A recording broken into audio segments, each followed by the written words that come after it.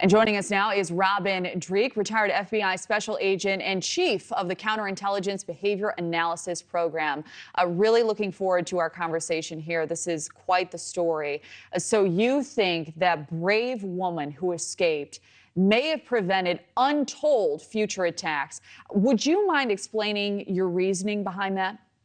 Uh, my pleasure, Kelly. And, and no doubt, so th- this subject's at the age where serial rapists and heinous people really start their proliferation of their dark arts of taking advantage of people. And so being 29 years old, he was just at the forefront of a probably a long career of taking advantage of women. So I'm just glad that this woman had the bravery to come forward, not just come forward, but break out of there because he greatly underestimated. He profiled her as a victim based on her line of work, not based on her. So his undoing was his objectification of her.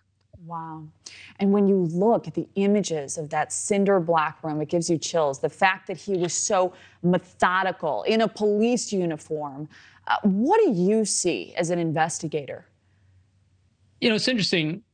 There's, I, I see a lot in there. He used the uniform as a lever of influence, of power and authority, which to me it shows a little bit of laziness because when you look at that cinder block there was a obviously there's a lot of thought and premeditation that went into this but i'm also seeing a a, a good enough mentality because if you look around in there, it, the bricks aren't interlaced. There, she was able to break out. There was, I didn't see any soundproofing. So again, this is just from one photograph, but I see a good enough mentality. And so, and you see all the debris out there. She's able to pick up a taser on the way out. There wasn't a huge amount of thought of after. And so hopefully what we're going to have come forward is a lot of other women that are going to be able to testify against him because they set up the network with a website and everything. Because I think this good enough mentality that he had when constructing this is going to hopefully be his undoing. We've got about a minute left, but does it surprise you? No one seems to have noticed what was going on at this home.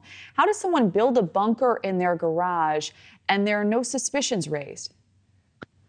Def, definitely doesn't surprise me. We've seen this with a lot of other people recently, especially of just kind of hiding in plain sight. When we're trying to hide nefarious things we're doing, people get really good at doing it. And also, if you look at the materials he used, he's using standard home building materials. The only thing that would have been possibly alerting, obviously, is all the cinder blocks, but all the other materials he used are pretty much found around the home. So it would be easy to, I think, to hide it in plain sight, especially if he's got years of repetitions behind hiding horrible behavior.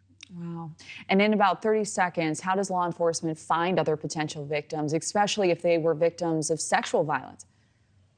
I think two, th- well, three things that are come about right now. I think they've done a good job of setting up a website to do just that for um, potential victims to log on and, and state what's going on.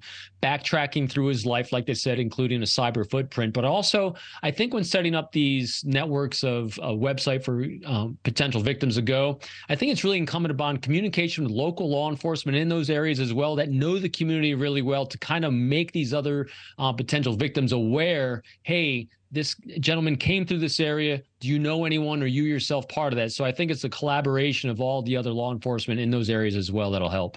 Well, we hope they get some answers. Robin Dreeke, fascinating conversation. Thank you for being here. Thank you, Kelly. Thank you for watching. Go to newsnationnow.com to find News Nation on your television provider. And don't forget to click the red subscribe button below to get more of News Nation's fact driven, unbiased coverage.